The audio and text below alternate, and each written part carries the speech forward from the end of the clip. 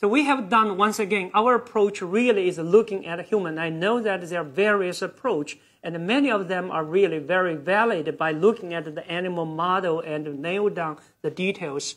And it, it just reflects our biased study design, our preference, and to study the human brain, we felt that we needed to derive the data from the human brain to address this question. So we have done a human study, in this case, give visual st stimulation we can record something called event related potential in it if it's a visual. That's the typical and visual evoked potential. Or you can speed it up by increasing very much the stimulation frequency. Then you get something called steady state visual evoked potential or SSVEP.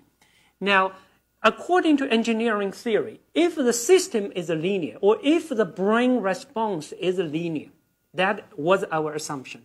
And then what we can get is we could get SSVEP signal, which is blue signal shown here, which should be corresponding to the, in, the convolution of the stimuli chain with the visual evoked potential. In, in a more intuitive way, we can convert this to the frequency domain. So here is, you can see the amplitude of the convolution of the stimuli and actually in frequency domain, it will be multiplication of stimuli with the VEP power spectrum. And here is uh, the power spectrum SSVEP. If it's a linear system, this guy divided by this guy should give you 1. Because if it's a linear. If it not give you 1, that means it's non-linear. So it's a very simple test. So we change this inter uh, stimul stimulus interval and look at how our brain responds. And uh, the result is summarized in this curve. So as what do we anticipate? I mean, the, fundamentally, the brain is a nonlinear system.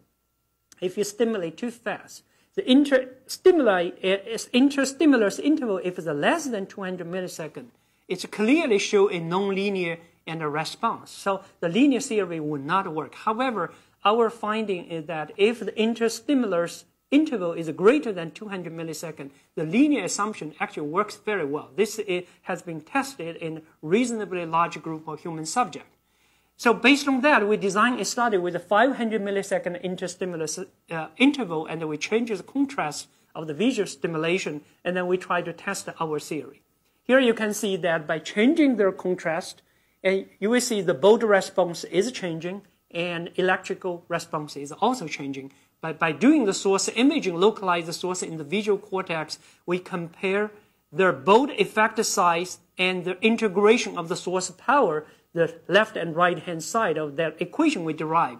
We were actually quite pleased to find that the correlation between these two was as high as 99%, which suggests that the theoretical relationship we derived works well, at least for the visual cortex, in an event related paradigm we do not know for spontaneous at this time.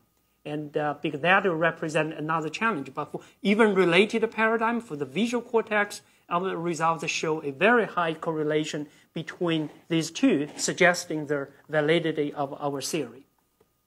So how it would work if we would implement such kind of source imaging. This is video just give you a impression how such can, you know, you integrate the functional MRI information and solve the source imaging from the scalp EEG. And what you will get is you will see a dynamic and imaging capability and focusing on, in this case, the visual and uh, so visual and uh, information processing.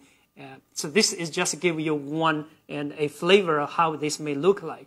So this slide really is a uh, concept slide and to show that one potential solution, and it's still, I, I think, still not reaching to what we want to accomplish in, in the brain initiative or in any other neuroimaging study. But however, this is one of the viable and the option is to do the multimodal imaging, place EEG cap into fMRI scanner, and then you run them simultaneously, developing these technology to integrate them together and that would provide a much greater and a resolution in terms of high spatial, high temporal resolution neuroimaging.